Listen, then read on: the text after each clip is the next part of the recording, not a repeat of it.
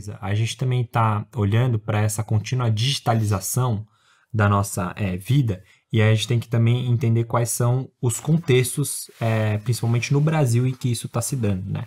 Você não pode é, perder de perspectiva que muitas vezes essa digitalização é, reforça assimetrias, reforça exclusão e não necessariamente inclusão.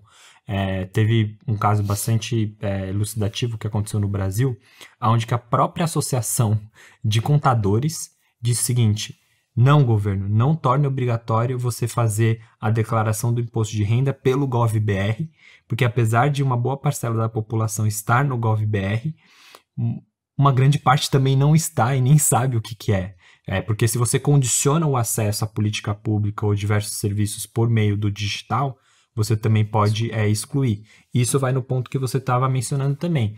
Nem todo mundo tem o mesmo tipo de acesso à internet que nós temos grande parte da população é baixa, é, de poder menor aquisitivo, a, a internet para essas pessoas é, respectivamente, o WhatsApp. É, ou aquele determinado aplicativo que não consome o seu 3G, 4G ou 5G.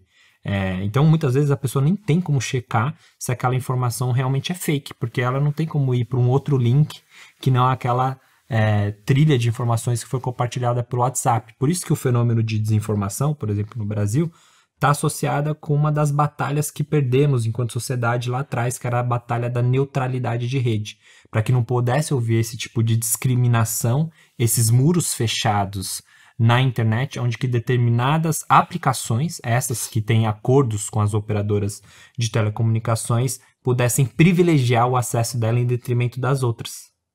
Então tem uma perspectiva assim muito de qual que é o elitismo que a gente está criando quando a gente está pensando nessa digitalização.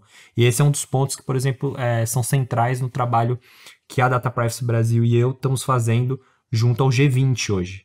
É, o G20 tem vários grupos de engajamento, a gente está coliderando a força-tarefa de transformação digital inclusiva no grupo né, de engajamento dos think tanks. E um termo que a gente utiliza para é, colocar essa diretriz é, de política pública, a gente chama de justiça de dados. A gente tem que entender como que a produção e a utilização desses dados não pode reforçar a simetria de quem já está excluído ou que não tem acesso a determinadas condições é, socioeconômicas ou benefícios. É, explico. Quem hoje é mais catalogado, quem hoje é mais fichado, quem hoje tem mais os dados sempre em troca?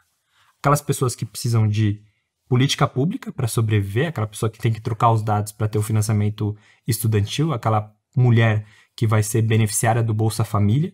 Então tem vários elementos de raça, gênero e outras coisas que a gente precisa ficar de olho, porque senão a gente vai continuar tendo uma sociedade digital 2.0 que reforça machismo, reforça racismo e todas essas perspectivas estruturais que a gente tem em nossa sociedade.